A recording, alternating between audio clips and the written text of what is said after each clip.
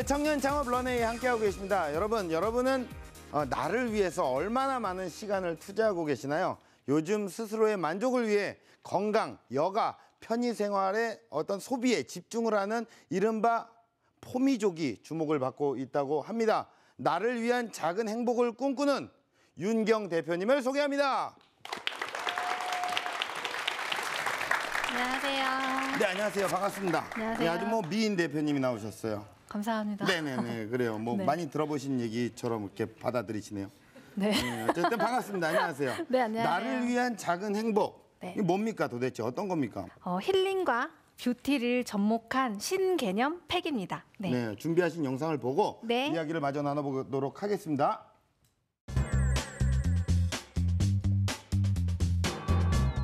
맨손과 맨발을 공개한 사람들.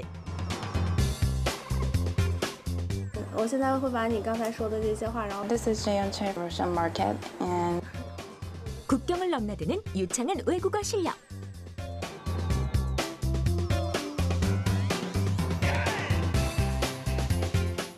온도 변화를 측정하는 열화상 테스트까지. 이곳의 정체가 지금 공개됩니다. 이곳은 차갑고 거칠어진 손발의 촉촉함을 선사하는 기능성 손발 팩 전문 회사입니다.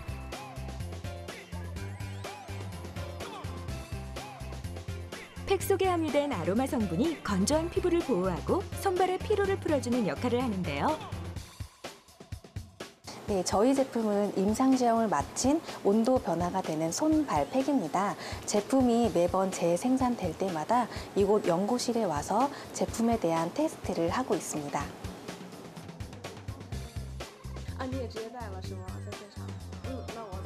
해외에서 뜨거운 인기를 얻고 있는 만큼 회사 분위기도 글로벌합니다.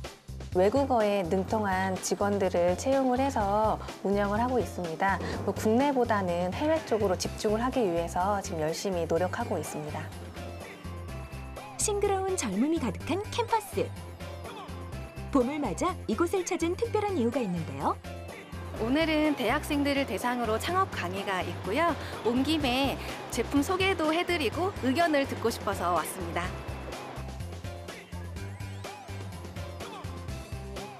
뷰티 창업의 노하우를 전수하라. 미용학과 학생들답게 열기가 뜨거운데요. 살아있는 고객의 소리를 듣기 위한 즉석 현장 테스트는 필수. 저희가 주목하는 건 바로 사용 후기인데요. 실제로 관심이 많은 미용 학생들에게 팩을 시연을 해보고 피드백도 받으면서 지적적인 제품 연구의 일환으로 생각을 하고 있습니다. 물론 자연스럽게 마케팅 효과도 생길 것이라고 생각하고 있습니다. 솔직담백한 현장 피드백은 사업의 가장 큰 원동력인데요. 제가 생각하는 사업은 혼자 하는 것이 아니라 고객과 함께 만들어가는 것이라고 생각합니다. 앞으로도 다양한 연령층의 고객들을 만나고 소통하면서 사업을 하고 싶습니다. 많이 응원해주세요. 네, 아, 예, 잘 봤습니다. 야, 예. 어, 야, 이게 뭐 영상을 봤는데 박수가 나옵니다. 그만큼 잘 봤다는 얘기예요. 감사합니다. 예, 뭐 대학에서 이제 강의도 하시고 계시고 네. 다양한 활동들을 많이 하시네요. 수출도 하고 계시고 네, 현재 저희는 국내보다는 네네. 수출 위주로 네, 사업을 진행을 하고 있습니다. 해외에서 좀 먹혔군요. 네. 국내에서도 좀 많이 먹혀야 되는데 그죠? 아, 아무래도 예, 예. 국내는 브랜드만을 보고 소비자분들께서 구매를 많이 하시지만 해외 같은 경우에는 아이디어성 제품을 많이 중요시 하시기 때문에 수출 쪽으로 많이 비중을 두고 있습니다. 어, 야 어떻게 또 이렇게 그 관문을 뚫었는지도 궁금해집니다. 네. 그러면 이게 원리가요 손과 발 팩이잖아요. 네. 그러면 이걸 하면 체온이 올라갈 수 있고 내려갈 수도 있다 이런 네, 겁니까? 맞습니다. 원리가 어떻게 되는 거예요? 저희 팩 안에 에센스가 들어 있습니다. 그 에센스는 저희만의 특허 성분인데요. 보습과 발열 그리고 각질 완화 기능이 동시에 되는 제품이어서 착용을 하시고 5분에서 10분 정도 있으시면 온도 변화 효과를 느끼실 수가 있는 팩입니다. 사실 얼굴은 우리가 신경을 많이 쓰고 관리를 많이 하는데 손이랑 발까지는 이제 네. 남자들 같은 경우는 신경을 잘 안 쓰거든요. 네, 맞습니다. 예, 뭐 과연 어떻게 지금까지 이렇게 사업을 이뤄냈는지 창업 스토리를 통해서 들어보도록 하겠습니다. 사업을 처음 시작을 할 때 저는 돈을 벌려고 하는 목적은 전혀 없었고 이 자체가 재밌어서 이거를 계속 꾸준히 하고 싶어서 저는 시작을 했던 것 같아요. 막상 사업자 등록증을 내고 사업을 시작해 보니 자금부터 마케팅, 기획, 뭐 영업부터 많은 거를 저 혼자 해야 됩니다. 음, 네가 과연 뭘 하겠느냐. 저는 근데 그런 고정관념을 깨고 싶었고요. 오기도 좀 생겼었고요. 창업 초기에 가장 알아둬야 될 게 안녕하세요. 여러분들의 손과 발에 힐링을 넣어 불어 넣어주고 싶은 어, 화장품 전문 회사 엔젤 아로마 스토리 윤경입니다.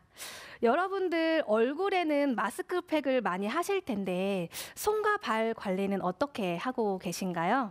저는 사업 아이템으로 손발 관련 제품으로 선택을 했는데요. 제가 왜 손발 관련 제품을 선택을 하게 됐는지 그리고 틈새 시장 공략을 어떻게 하게 됐는지에 대해서 강연을 시작하도록 하겠습니다. 저는 대학교 전공을 관광학을 전공을 했는데요. 제가 평소에 말하는 거를 좋아하고 돌아다니는 걸 좋아해서 원래는 가이드를 할까 생각을 했었습니다. 그래서 관광학을 했었는데 음, 전공과는 무관하게 일반 공공기관의 행정직 일반 평범한 사무원으로 9년 11개월을 근무를 했었어요. 어, 직, 오래된 직장을 그만두고 나서 제가 메디칼 회사의 마케팅 부서에서 근무를 하게 됐습니다. 그리고 어, 그러다 보니까 재활치료실을 자주 제가 드나들게 됐는데요. 그곳에 노인분들이 상당히 많이 오시더라고요. 근데 노인분들이 오실 때는 손, 손이 이렇게 굳어서 많이 오시는 거예요. 그리고 손만 봐도 얼마나 고생을 했는지가 알 수 있을 정도로 손이 많이 건조하시더라고요. 근데 그분들이 병원에 오셔서 치료를 하시는 게 파라핀 치료를 많이 하시더라고요. 혹시 파라핀 치료에 대해서 아시는 분 있으신가요? 네, 병원에 가시게 되시면 촛농을 녹인 따뜻한 물이 있습니다. 그곳에 손을 왔다 갔다 이렇게 하게 되면 촛농이 굳어지면서 이제 손을 이렇게 따뜻하게 해주는 이런 치료법이에요. 그래서 간호사분들께 제가 이제 여쭤봤죠. 어, 왜 이런 치료를 하느냐? 이게 실질적인 효과가 있느냐라고 여쭤봤더니 어, 이거는 치료보다는 그냥 일시적으로 손을 따뜻하게 해주는 기능을 합니다라고 하시더라고요. 그래서 어, 그렇구나, 약간은 좀 아쉽다라는 생각을 하게 됐었어요. 그리고 오랜만에 시골 집에 내려갔는데 문을 딱 열었더니 저희 어머니께서 TV를 보시는데 대야에 차가운 물을 받아놓고 두 발을 담그시고 TV를 보시더라고요. 그래서 왜 이렇게 발을 담그고 TV를 보느냐라고 했더니 평상시에 발바닥이 너무 뜨거워서 잠을 못 주무신다는 거예요. 그래서 이제 그때 제가 생각을 한 게 아, 손과 발을 따뜻하게 해주는 제품, 그리고 시원하게 해주는 제품, 아, 이런 게 있으면 참 좋겠다. 라는 게 제 항상 머릿속에 가득 차 있었었어요. 그리고 업무를 보는데 인터넷에 한 공고가 뜨더라고요. 어, 아이디어가 있으면 이런 시제품을 제작을 해주는 그런 시제품 창업에 대한 공고문이었어요. 그래서 그게 경기도 지창업 프로젝트라는 거였는데요. 시제품을 700만 원을 지원을 해주는 프로그램이었어요. 그래서 솔직히 저는 어, 학교를 다닐 때 무슨 상을 받는다거나 뭐 로, 하다못해 뭐 로또 5천 원짜리도 된 기억이 없었기 때문에 별 기대를 하지는 않았고 그냥 제가 머릿속에만 있던 거를 그냥 사업 계획서를 정말 간략하게 한 다섯 페이지도 안 되게 작성을 해서 마감 한 두 시간 정도를 남겨 놓고 제출을 했었어요. 그런데 정말 네, 붙어가지고 제가 합격을 했, 했다라는 통보를 받고 프레젠테이션도 처음으로 그 사업을 통해서 제가 경험을 하게 됐었습니다. 그리고 나서 제 제품이 시제품으로 제작이 완료가 됐었는데 너무너무 재밌더라고요. 평상시에 저는 TV를 보게 되면 유명 인사들이 항상 네가 정말 재밌는 일을 해라. 항상 그렇게 말씀을 하시잖아요. 근데 그게 제 머릿속에는 그렇게 와닿지는 않았었어요. 그거는 그냥 단지 성공한 사람들이 하는 말일 뿐이다라고만 생각을 했었는데 저는 실제로 제 제품을 만들어서 반응을 보니까 실시간으로 저에게 다가오는 그 피드백이 너무너무 재밌는 거예요. 그래서 온통 그 재밌다, 재밌다 이런 생각만이 제 머릿속에 가득 찼었어요. 그리고 저는 사업을 시작을 하게 됐는데 사업을 처음 시작을 할 때 저는 돈을 벌려고 하는 목적은 전혀 없었고 그냥 오로지 이 자체가 재밌어서 이거를 계속 꾸준히 하고 싶어서 저는 시작을 했던 것 같아요. 그런데 그거는 단지 이제 창업을 시작하기 전에 저의 생각이었고요. 막상 사업자 등록증을 내고 사업을 시작해 보니 뭐 직장을 다닐 때는 월급이 꼬박꼬박 나오잖아요. 안정된 생활이었는데 이 모든 게 다 제가 돌아다니고 밥 먹고 이런 게 다 돈이더라고요. 그래서 정말 점점 더 짠순이가 될 수밖에 없는 그런 구조였어요. 그리고 올- 음, 저는 오프라인 매장에 정말 버젓한 매장에 제 제품을 런칭을 시키고 싶었는데 어, 제 뜻대로 되지는 않았죠. 당연히 창업 초기 기업이기 때문에 저를 뭐를 믿고 제품을 입점을 시켜 주겠어요. 그래서 어, 유명한 이런 매장 MD 분들을 많이 만났었는데 퇴짜를 많이 맞았었고요. 그 대신에 주변 지인분들을 통해서 화장품에 관련된 업체라면은 무조건 만나기 시작을 했어요. 그리고 어, 저의 생활은 어, 새벽 6시 전에 부터 시작을 해서 집에 돌아오면 한 새벽 2시 정도 됐던 것 같아요. 근데 그런 생활을 한 1년 정도를 계속 꾸준히 하게 됐었고요. 바이어들이 저에게 요청하는 서류가 너무너무 많았어요. 그러니까 너무 어리다 보니까 음, 제가 좀 동안이잖아요. 그래서 애뜨다 보니까 음, 네가 과연 뭘 하겠느냐라는 그런 고정관념이 얘기를 하면서도 항상 박혀 있다라는 게 느껴지더라고요. 저는 근데 그런 고정관념을 깨고 싶었고요. 오기도 좀 생겼었고요. 그래서 바이어들이 저에게 요청하는 자료를 제가 못해 갈 줄 알았으실 거예요. 그런데 저는 그런 자료를 하나하나 모아서 어, 저는 제 철칙이 바이어들이 요청을 하면 하루 안에 답변을 해주기. 아니면 좀 오래 걸리는 데이터면 일주일 안에 무조건 답변을 해주자.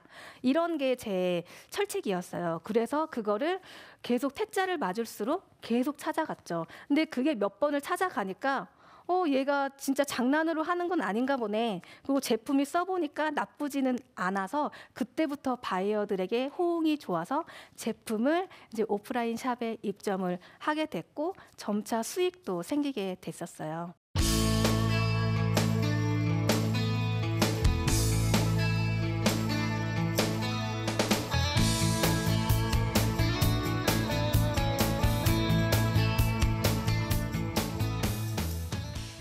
자금에 얽매이다 보니까 좀 유혹에 많이 시달리기도 해요. 저 같은 경우에도 음, 바이어분을 만났는데 저에게 100만 장을 팔아주겠다라는 제안을 해오셨었어요. 근데 저는 돈이 없으니까 어, 너무나 솔깃한 제안이었죠. 그런데 음, 원가 이- 원가 정도의 수준으로 제품을 원하시더라고요.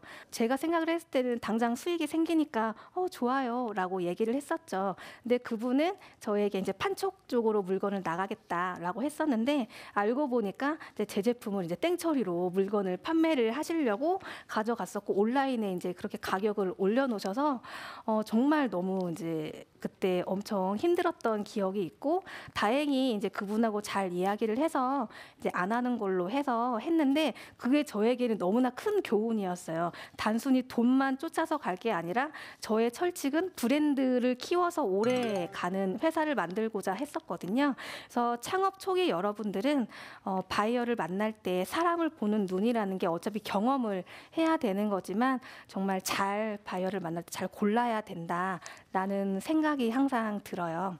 저는 창업 교육을 제대로 받아본 적이 없었어요. 그래서 저는 주변 분들에게 항상 자문을 구하고 이러면 어떻겠느냐라는 조언을 많이 구하는 편이거든요.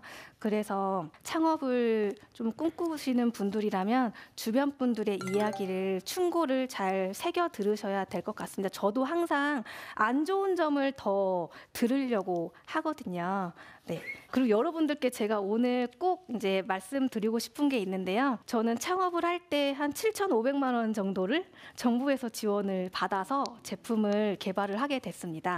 그래서 이런 인터넷에 찾아보면 창업진흥원이라든지 아니면 각 지자체에 이런 창업을 도와주는 프로그램들이 상당히 많이 있습니다. 그래서 최소 500만 원에서 뭐 5천만 원 정도까지 마케팅 비용까지 지원을 해주는 게 상당히 프로그램이 많이 있거든요. 그러니까 꼭 비용을 들여서 위험을 무릅쓰지 마시고 그런 사업을 꼭 활용을 하셨으면 좋겠어요.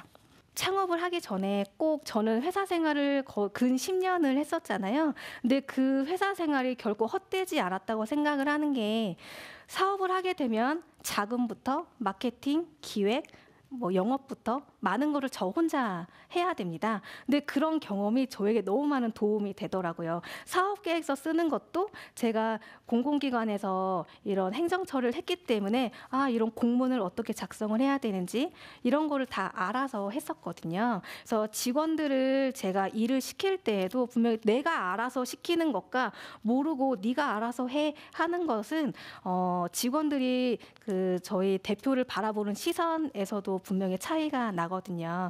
그래서 나만의 가지고 있는 노하우, 경험이라는 거는 절대 무시할 수가 없는 것 같습니다. 그래서 제가 간략하게 음, 제품을 개발하게 된 계기부터 사업을 시작하게 된 것까지 말씀을 드렸는데요.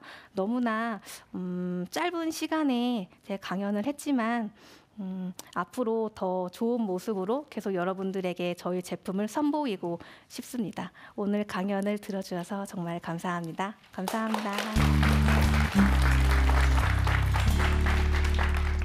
네, 강연 잘 들었습니다.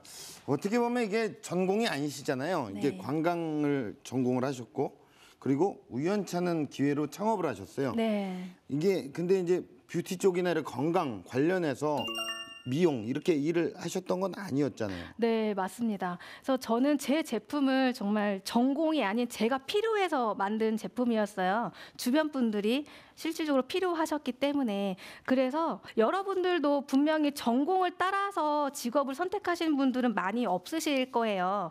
그래서 굳이 정말 새로운 거에 도전을 하고 싶, 하고 싶다라고 하시면 너무 고정관념에 박혀서 어, 해도 될까라고 생각하지 마시고 도전을 하세요. 하지만 그 전에는 그만큼 자기가 그 도전하려고 하는 거에 대해서 많은 공부는 하셔야 될 거라고 생각을 합니다. 그러니까 어떻게 보면 나라에서 지원받은 걸로 창업을 하셨잖아요. 네. 그러면 그 어떤 노하우나 이런 거 뭐 어떻게 잘해야 됩니까? 그 돈을 받기 위해서는 단도직입적으로 좀 여쭤볼게요. 네. 어떻게 뭐 제안서를 되게 잘 써야 돼요? 어떻게 잘해야 돼요? 그죠? 만약에 마스크팩을 하고 싶다라고 했을 때 마스크팩을 왜 하겠어요? 보습을 위해서 하잖아요.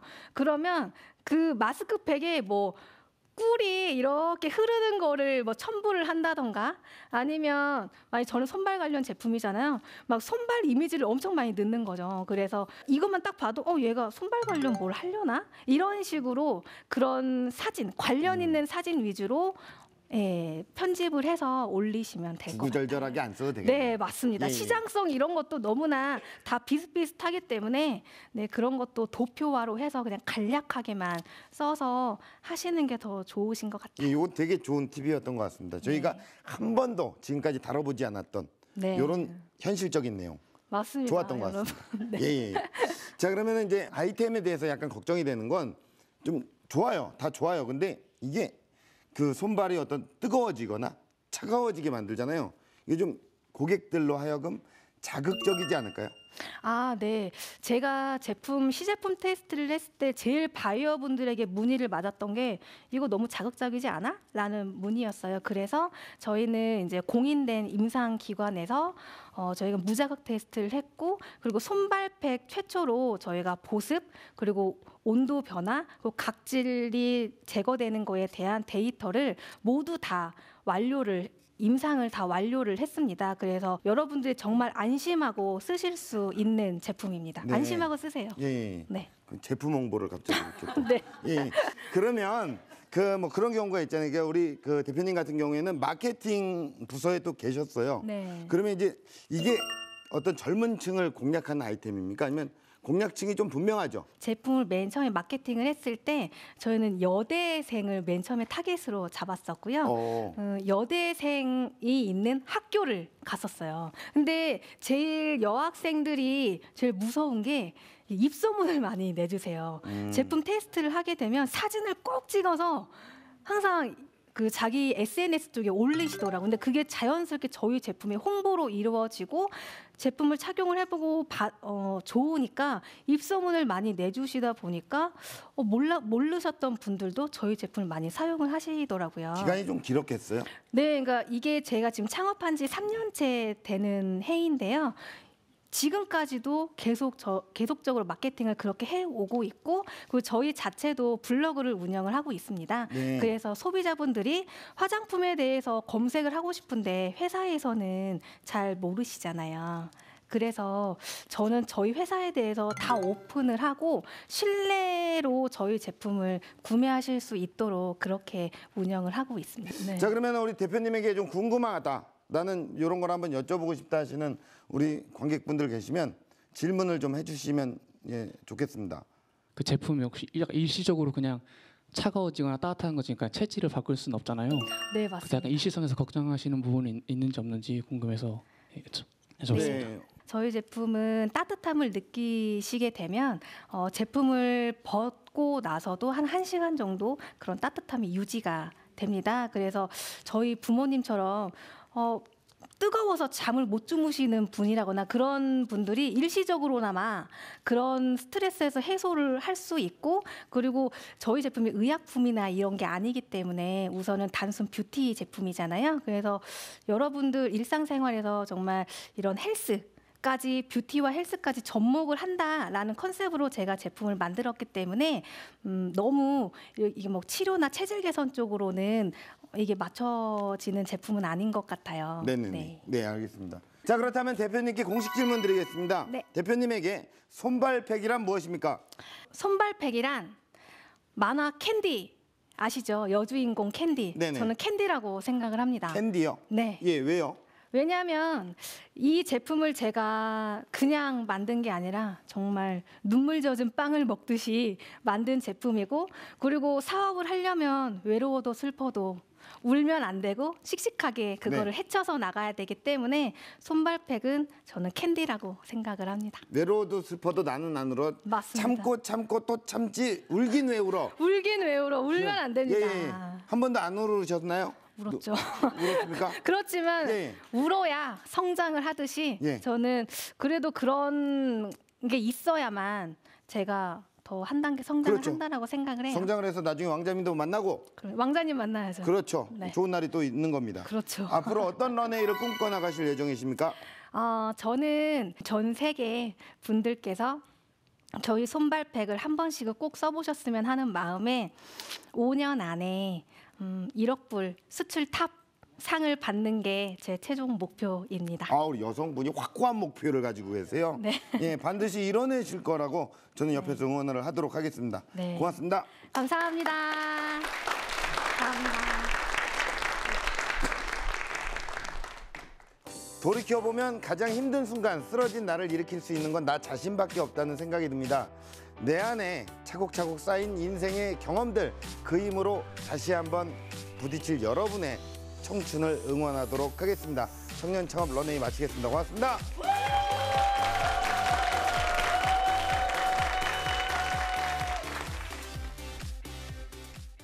다행히도 잘 마친 것 같아서 너무 좋습니다.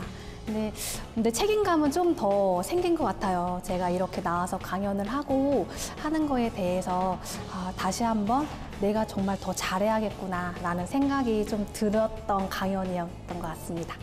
창업을 할 때꼭 어, 주변에 창업에 대해서 그래도 어느 정도 도움을 주실 수 있는 분에게 자문을 꼭 구하셨으면 좋겠어요. 아니면 정 없으면 저에게 자문을 구하셔도 언제든지 환영입니다. 지금은 지친 당신의 손과 발에 휴식을 취할 시간. 지친 당신의 손과 발에 날개를 달아주세요.